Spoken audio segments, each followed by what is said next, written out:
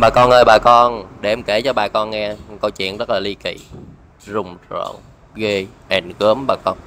Thì ngày hôm qua có một ông anh cũng rất là thân mà anh làm bên Guppy không bà con. Mà em em không biết Guppy mấy ác đó bà con.